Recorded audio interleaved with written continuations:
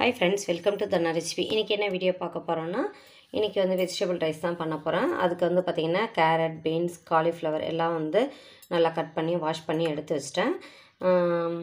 எப்படி செய்யலாம்னு சொல்லிட்டு பார்க்கலாம் வாங்க. அதுக்கு முன்னாடி நம்ம சேனல் ஃபஸ்ட் டைம் பார்த்தீங்கன்னா மறக்காமல் சப்ஸ்கிரைப் பண்ணுங்கள் சப்போர்ட் பண்ணுங்கள் நிறைய பேர் சப்போர்ட் பண்ணுறீங்க அவங்களுக்குலாம் ரொம்ப நன்றிங்க. புதுசாக பார்க்குறவங்களும் மறக்காமல் சப்போர்ட் பண்ணுங்கள் வீடியோ வந்து ஸ்கிப் பண்ணாமல் பாருங்கள் வாங்க இப்போ வீடியோக்குள்ளே போயிடலாம்.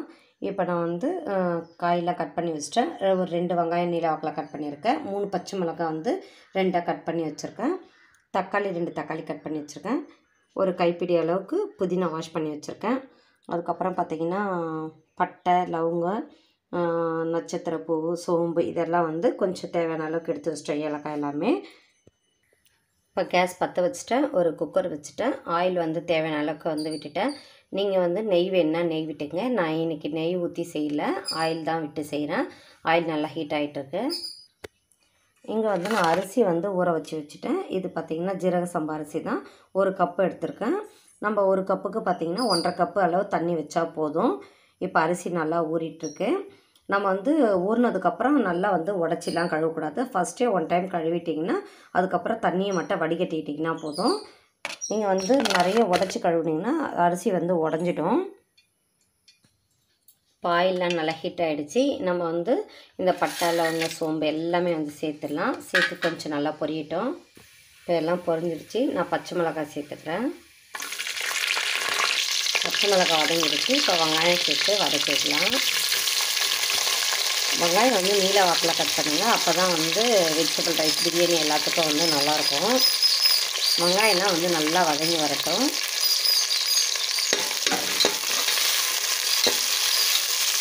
ப்ரௌனாக வதங்கினதுக்கப்புறம் தக்காளி சேர்த்துக்கலாம் நம்ம. இன்றைக்கி வந்து குழந்தைங்க வந்து வெஜிடபிள் ரைஸ் தான் கேட்டுருக்காங்க லஞ்சு அதனால தான் எனக்கு வெஜிடபிள் ரைஸ் வேணும். நான் வெங்காயம் வந்து வதங்கிடுச்சு. இப்போ தக்காளி சேர்த்து வதக்கி எடுத்துக்கலாம்.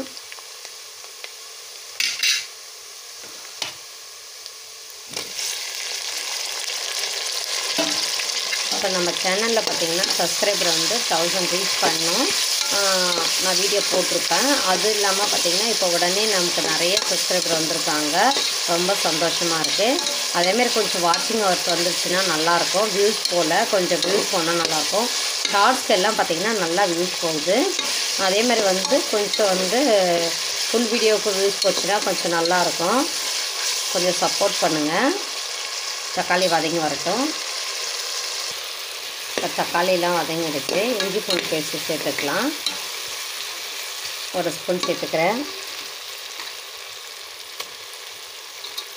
சேர்த்து இஞ்சி பூண்டு வாசனை பச்சை இதெல்லாம் போயிடணும். நல்லா வதக்கிடலாம். இஞ்சி பூண்டு சேர்த்தோன்னா கொஞ்சம் அடி பிடிக்கும். கலரி விட்டுட்டே இருங்க.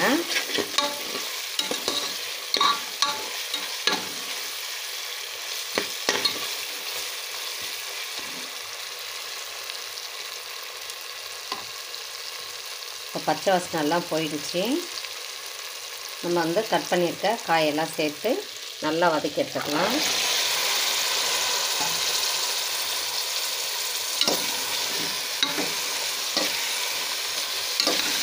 நல்லா வதக்கி வச்சுக்கலாம்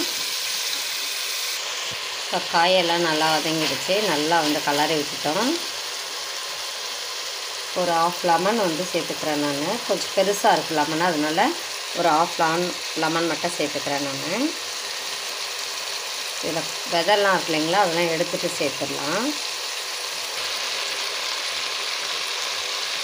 நமக்கு லெமன் சேர்த்தோம்னா கொஞ்சம் புளிப்பு இருக்கும் லைட்டாக அரிசி வந்து உடையாமல் இருக்கும். அதுக்காக தான் லெமன் சேர்க்கறது. டேஸ்ட்டு நல்லாயிருக்கும்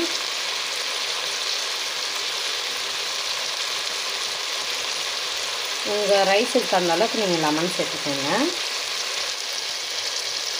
சும்மா ஒரு ஸ்பூன் அளவுக்கு வந்து கெட்டியான தயிர் சேர்த்துக்கிறேன். சேர்த்து நல்லா மிக்ஸ் பண்ணிடலாம்.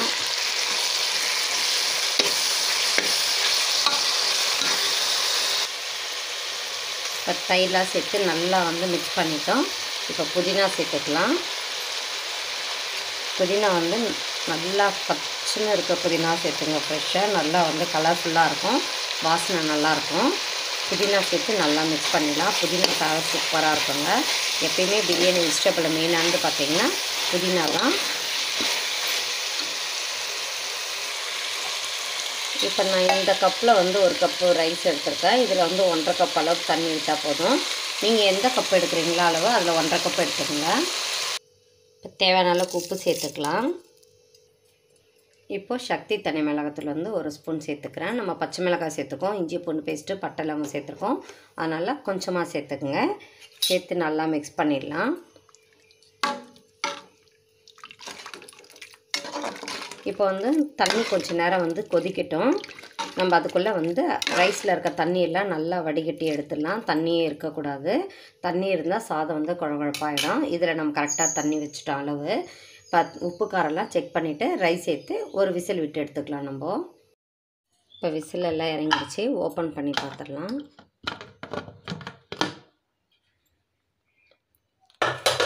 சாப்பாடெல்லாம் நல்லா பார்த்தா வெந்திருக்கு. சாப்பாடெலாம் நல்லா வந்து வெந்து வந்துடுச்சு. இப்போ நம்ம வந்து கலரி விட்டுடலாம். கலரிட்டு லஞ்ச் பாக்ஸ் போட்டுடலாம் குழந்தைங்களுக்கு. டைம் ஆகிட்டுருக்கு தயிர் பச்சடி வந்து ரெடி பண்ணிகிட்ருக்கேன் குழந்தைங்களுக்கு. அவங்க வந்து வெறும் சாதம் மட்டும் சாப்பிட மாட்டாங்க. தயிர் பச்சடி ஏதாவது தான். இன்றைக்கி பார்த்திங்கன்னா கிருத்திகை வேறு. சரி நம்ம வந்து கிருத்திக்கு நான்வெஜ் செய்ய முடியாது இல்லைங்களா? எல்லாம் முட்டை வச்சுருக்கலாம். சரி தயிர் பச்சடி மட்டும் வச்சு கொடுத்துடலாம் எனக்கு. டைம் ஆகிட்டுருக்கு சாதம் வந்து ஃபஸ்ட்டு ஆற வச்சு கப்பில் போட்டு எடுத்துடலாம். வாட்டர் பாட்டிலில் தண்ணியெல்லாம் ஊற்றிடலாம் நம்ம. இந்த வீடியோ இதோட முடியுது. இந்த வீடியோ பிடிச்சா மறக்காமல் ஒரு லைக் பண்ணுங்கள் சப்ஸ்கிரைப் பண்ணுங்கள் தேங்க்ஸ் ஃபார் வாட்சிங்